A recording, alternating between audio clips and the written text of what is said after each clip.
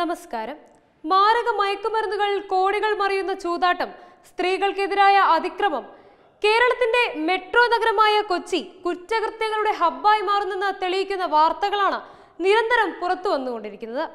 Covid മൂലം നടപ്പിലാക്കിയ അടച്ചിടലുകൾക്ക് ശേഷം കേരളം വീണ്ടും സജീവമായതിന് പിന്നാലെയാണ് ഇത്തരം സംഭവങ്ങൾ തുടർച്ചയായത്.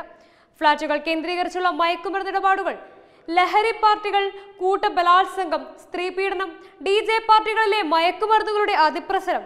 കേരളം ഇന്നോളം കേട്ടിട്ടില്ലാത്ത സംഭവങ്ങളായിരുന്നു കൊച്ചിയിൽ നിന്നും പുറത്തു വന്നത്. എം ഡി എം എ പോലുള്ള സിന്തറ്റിക് ലഹരികളുടെ ഉപയോഗം സംസ്ഥാനത്ത് വ്യാപകമായി വർദ്ധിച്ചിട്ടുണ്ട്.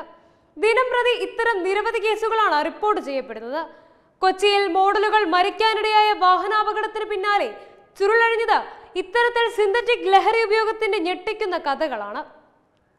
ഫോർട്ട് കൊച്ചിയിലെ ഹോട്ടൽ കേന്ദ്രീകരിച്ച ഡി ജെ പാർട്ടി നടക്കുന്നു. അതിൽ പങ്കെടുത്ത് മടങ്ങിയ യുവതികൾ ഉൾപ്പെടെയുള്ളവരെ ആഡംബരക്കാർ പിന്തുടരുകയും തുടർന്നുണ്ടായ അപകടത്തിൽ മൂന്ന് പേർ കൊല്ലപ്പെടുകയും ചെയ്തു. അന്വേഷണം ഹോട്ടൽ ഉടമയിലൂടെ ചെന്നെത്തിയത് സൈജയം തങ്കച്ചൻ എന്നയാളിലായിരുന്നു. പിന്നീട് പുറത്തു വന്നത് മയക്കുമരുന്ന് ലൈംഗിക പീഡനം തുടങ്ങിയവയുടെ ഞെട്ടിക്കുന്ന വിവരങ്ങളായിരുന്നു. സൈജുവിന്റെ ചാറ്റ് വിവരങ്ങളിലെ ചില വിവരങ്ങൾ ഇതിലേക്ക് വെളിച്ചം വീശി. സ്ത്രീകളുടെ ശരീരത്തിൽ രാസലഹരി വസ്തുക്കൾ വിതറി ഒന്നിലധികം പുരുഷന്മാർ ചേർന്ന് പീഡിപ്പിക്കുന്നതിന്റെ ദൃശ്യങ്ങൾ ലഹരി ഉപയോഗിക്കുന്നതിന്റെയും പ്രകൃതിവിരുദ്ധ പീഡനത്തിന്റെയും വിവരങ്ങൾ എന്നിവയും ഇതിലുണ്ടായിരുന്നു. ബംഗളൂരു ഗോവ എന്നിവിടങ്ങളിലെ ലഹരി മരുന്ന് മാഫിയയുമായി സൈജുവിന് അടുത്ത ബന്ധമുണ്ടെന്നും കൊച്ചിയിൽ ഇയാളുടെ നേതൃത്വത്തിൽ നടന്ന പാർട്ടികളിൽ ലഹരി മരുന്ന് വിതരണം നടന്നിട്ടുണ്ടെന്നും അന്വേഷണത്തിൽ വ്യക്തമായിട്ടുണ്ട്. Web desk Tatwamayi news.